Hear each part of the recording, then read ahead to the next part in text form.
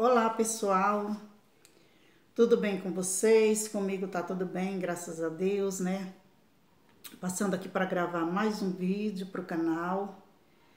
Antes eu quero me apresentar para você que está aqui pela primeira vez assistindo o vídeo, que não me conhece ainda. Meu nome é Marilene Lopes, sou aqui do canal Artesanatos e Plantas, né? E eu sempre gosto de explicar, gente, porque tentar melhorar aqui a câmera um pouco. Eu gosto de explicar para vocês, porque quando eu comecei esse canal, eu tinha é, um, um outro tipo de conteúdo, né? E eu tive que mudar por questão de saúde, né? Que é como eu falo para vocês. Eu até voltei aqui, ó, tá aqui, tô começando a fazer de novo os meus artesanatos, graças a Deus fazendo aqui meu joguinho de suplar. Tem que arrematar ainda, né? Eu gosto muito de fazer meus artesanatos e tentando, é, tentando não, fazendo aqui um jogo de suplar, né? Vou fazer tapetes e conforme eu for fazendo eu vou mostrando para vocês. Mas eu também me propus, né, há uns dias atrás, pela mudança, mudei de cidade, né, mudei Tô aqui para fazer uns tratamentos. Tô aqui, quem sabe o tempo é Deus, né? Mas é, tive que mudar um pouco o conteúdo do meu canal. Gente, é, eu também falei que eu ia começar a ler uns versículos, né? Da palavra de Deus, tentar explicar. E não foi possível ainda começar, porque, como eu explico para vocês, à noite quando eu não estou é, na igreja, não é todo dia que tem culto, né? Mas eu quero ir para a igreja, né? Porque é bom, eu gosto, né? De ouvir a palavra de Deus, né? E também de ir agradecer a Deus por tudo que Ele tem feito na minha vida. E eu não posso estar gravando vídeo todos os dias, né? Mas eu vou tentar, né? Eu vou tentar estar sempre aqui, né? Fazendo, gravando alguns vídeos, falando para vocês, contando aqui do meu dia a dia e falando também das coisas de Deus, né? Então é isso, gente. Eu ainda não sei gravar direito, aqui tentando arrumar a câmera, não sei gravar ainda direito vídeos, mas eu vou aprender em nome de Jesus. O assunto que eu tenho hoje para abordar com vocês, eu estava vendo aqui, eu até marquei para não esquecer, Marcos capítulo 4, versículo 24 e Mateus capítulo 7, versículo 2, onde tem uma parte que diz assim, eu vou tentar ler aqui para vocês. Com o juízo com que julgais, sereis julgados, e com a medida com que medis, vós medirá a vós. É, vos medirá a vós, né? Então, é, aqui na plataforma a gente vê muito esse tipo de, de palavra, né? Quer dizer, esse tipo de, de coisa acontecendo, né? Pessoas que. É, eu até estava assistindo um, um vídeo de um senhor aí, né? Às vezes a gente. Tem coisas, irmãos, que a gente quer deixar para lá, porque quando você vai ouvir, quando você vai assistir os vídeos da pessoa, você vê que é, até perca de tempo, né? A gente querer ajudar, a gente querer falar alguma coisa, porque um conselho que você vai dar vira assim um, uma briga, a pessoa já está acostumada a tá em, em diz, dizendo ele, que é ele que fala, para depois ele não vir aqui dizer que eu estou mentindo, né? Fazendo BO, faz BO para um, faz BO para outro, ameaça um, ameaça outro, né? E eu vendo esse versículo de Mateus, eu pude ver, irmãos, que quando a gente lê a Bíblia, a gente toma esse cuidado, né? Quando a gente lê a Bíblia, quando a gente leva a sério a palavra de Deus, a gente tem esse cuidado, né? Eu, eu sempre convido as pessoas que venham, que assistam os meus vídeos, para que as pessoas julguem, né? Se eu estou aqui atacando as pessoas, né? Então, eu, eu tenho esse cuidado. E, e essa, é, muitas pessoas, né, é, às vezes chegam, é, já vou direto a, a, essa, esse senhor mesmo, né? O, o senhor aí, o evangelista. Ele vem, ele ofende as mulheres, ele é, não tem uma resposta né, para as pessoas que não seja acusando, atingindo, chamando as pessoas de carnuda, chama as pessoas de cobranaja, que nem chamou a nossa irmã Elza Geline. Eu fiquei muito triste porque isso não é, é ele pegou muito pesado com a irmã, né? Comigo ele me disse que eu tenho um espírito de crítica, só que é, aquilo que, é, que as pessoas dizem comigo, eu não levo em conta desde que eu não seja daquela forma, entendeu? É, disse que eu tenho um espírito de crítica, mas talvez não se olhe no espelho, não assiste os seus vídeos, e isso é muito triste. Mas aqui em Mateus, é, no capítulo 24, ou no capítulo 7, verso 2, eu, tô eu ainda estou em Marcos 24, Marcos 4, 24, mas aqui em Mateus, que foi onde eu li, né? Mateus, capítulo 7 e verso 2, nos ensina, né? Para que a gente não passe por isso, para que a gente não, não seja julgado, para que a gente não, não é, receba é, correção dessa forma, a gente também não pode fazer com o outro, né? Você não, não pode querer todo dia estar tá aqui é, nas pregações, a, é, atacando as pessoas, né? Não pode ter uma pregação que ensine as pessoas, é, chame as pessoas ao arrependimento.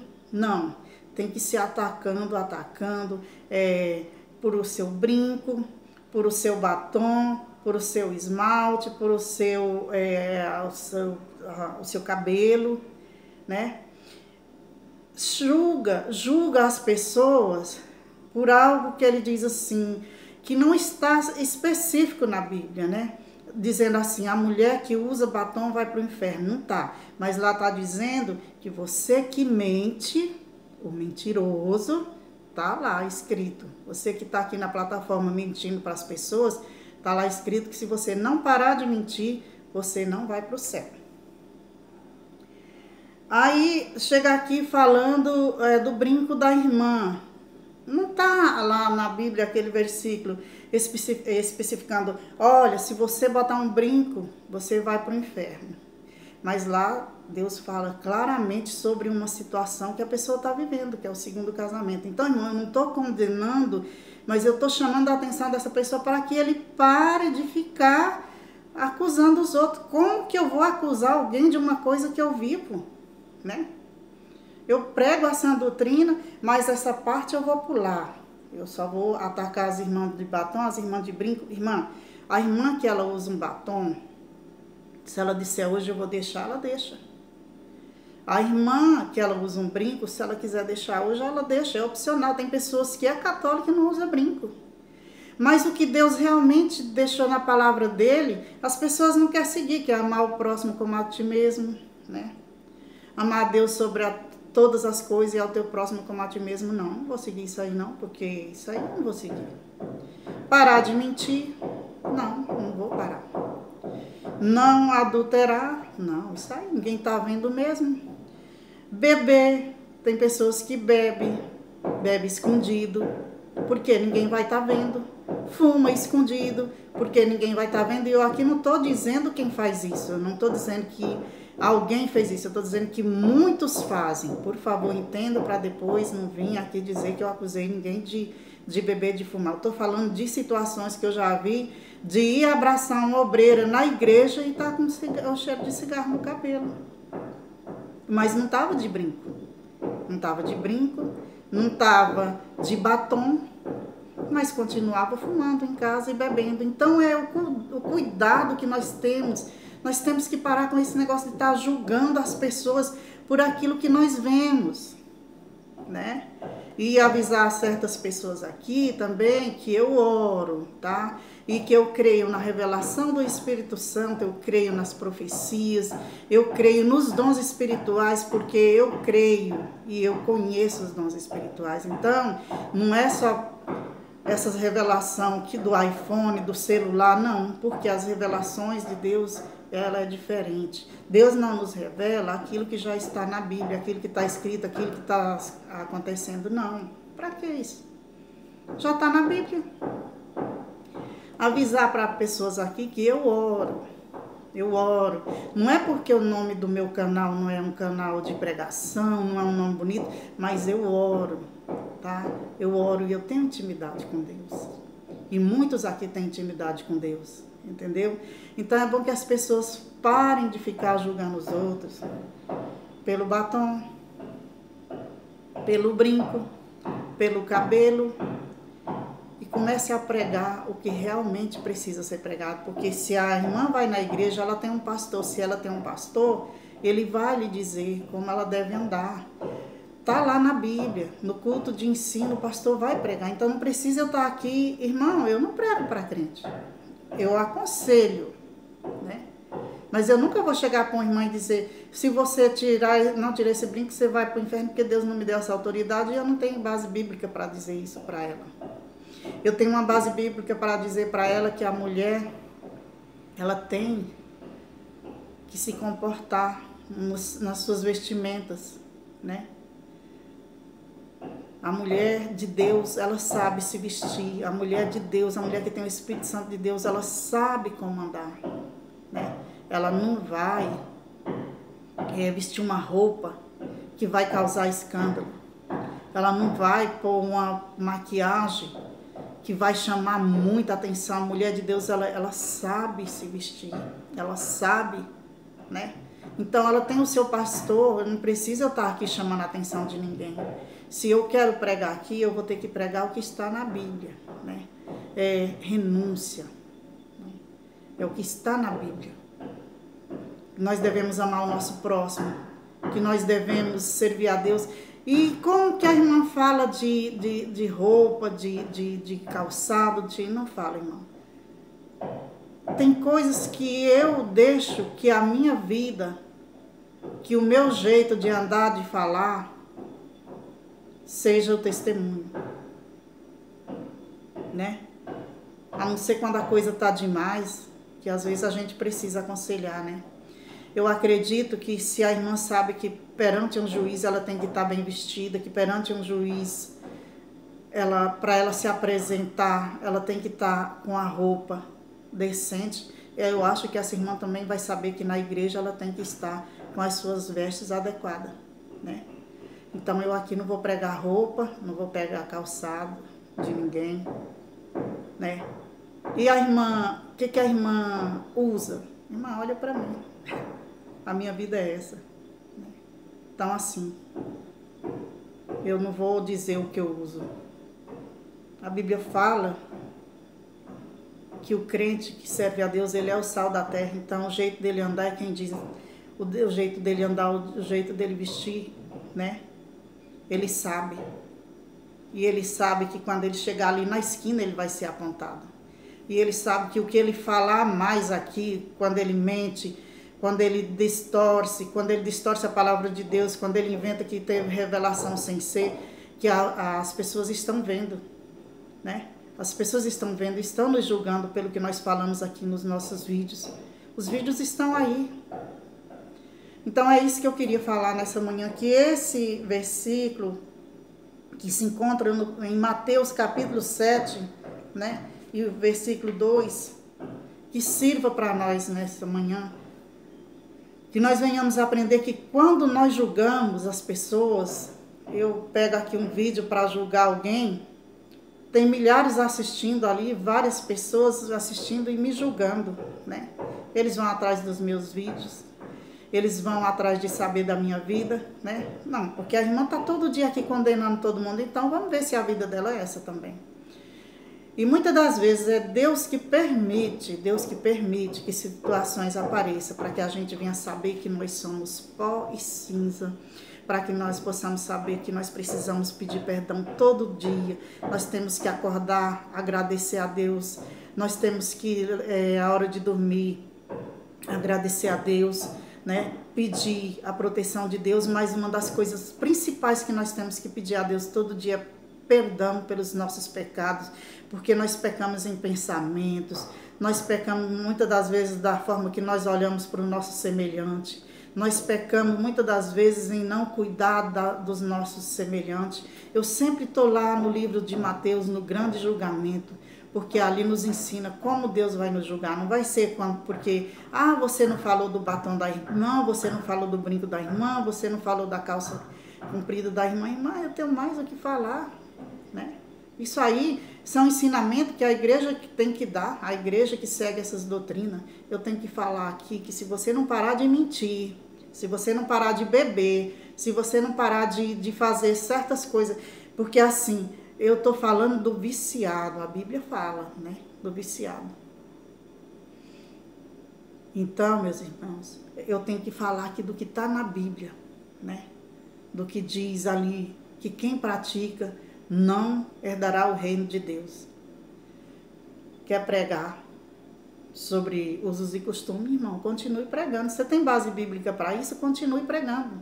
Né? Mas viva uma vida em santidade. Né? Porque o que está às vistas, todo mundo está vendo, mas cuidado com o que está em oculto na sua vida. Porque é isso que muitas das vezes leva o homem para o inferno. Porque ele não deixa, porque ele acha que ninguém está vendo. Só que Deus está vendo. Muitas das vezes a irmãzinha tá ali, tem aquele uso, aquelas coisas que ela gosta de usar, só que o coração dela está puro e ela não está desejando mal para ninguém, ela não está adulterando, ela não está fazendo coisas é, escondidas, porque pessoas que fazem coisas escondidas, que nunca se libertaram de vícios, ficam acusando os outros. E é isso que eu estou falando. Então aqui eu não falei nessa parte de vício, eu não estou falando de ninguém, não falei nome de ninguém. Que é para depois não vir dizer, ah, irmã Marilene me acusou disso. Não, não estou acusando você, não estou acusando ninguém de vício aqui. Quem faz sabe. Quem faz sabe. Eu só queria deixar uma coisa aqui para vocês. Deus continua revelando. Deus continua mostrando. Só que uma coisa você pode ter certeza. Se você tem uma igreja que você congrega, Deus não vai usar eu aqui para ir falar numa plataforma para você se você tem seu pastor. E lá tem várias pessoas que buscam os dons que, que, né, que Deus revela, porque Deus revela, irmão. Não é dessa forma aqui que está na plataforma. Ah, Deus me falou de manhã, Deus me falou de tarde, Deus me falou de noite. O que está na Bíblia, não. Deus revela o oculto, né? Aquilo que eu e você não podemos ver. Mas aquilo que está aos nossos olhos, que já está escrito na palavra de Deus, não é revelação, é revelamento, como diz os irmãos aí. E isso nós temos que tomar cuidado. Então é isso, irmãos. Queria deixar, né, essa essa conversa, né, que a gente teve agora falando sobre julgamento. Vamos parar de julgar as pessoas, começar a olhar para nós mesmos. Agora, uma coisa é parar de julgar, agora deixar de falar sobre é, certas coisas que alguém vem e diz aqui que eu não concordo, eu vou continuar falando. E o que eu falar também que vocês não concordar, ó, os vídeos tá aí. Pode responder, pode refutar, dentro da palavra de Deus, não tem problema nenhum. Pode fazer, pegar o vídeo, pode refutar, pode responder, desde que com respeito. Mas uma coisa é isso que eu estou te falando. Não adianta eu vir aqui acusar as pessoas de isso, disso, daquilo, se eu nem liberto ainda estou, né? Vamos continuar orando uns pelos outros, pedir que Deus venha abençoar a sua vida, a minha vida, a vida dos nossos familiares. E se você gostou do conteúdo, compartilhe, me ajude a fazer esse canal melhorar cada dia mais vai mandando seus comentários, me corrigindo, irmã, assim, eu penso assim, eu penso assim. Vamos conversando e vamos aprendendo, né, irmão? Porque é isso, o crente que ele é humilde, ele busca a Deus, ele, ele quer aprender cada dia mais, né? E isso é bom para nós, né? Aprender de Deus uns com os outros. Então fiquem todos com Deus. Aqui não importa se você seja crente, seja católico, seja espírita, não importa a sua religião, no meu canal você será sempre bem-vindo, tá? Fique com Deus e que Deus abençoe a sua vida, em nome de Jesus. E até um próximo vídeo, se assim o Senhor nos permitir. Não se esqueça de se inscrever no canal.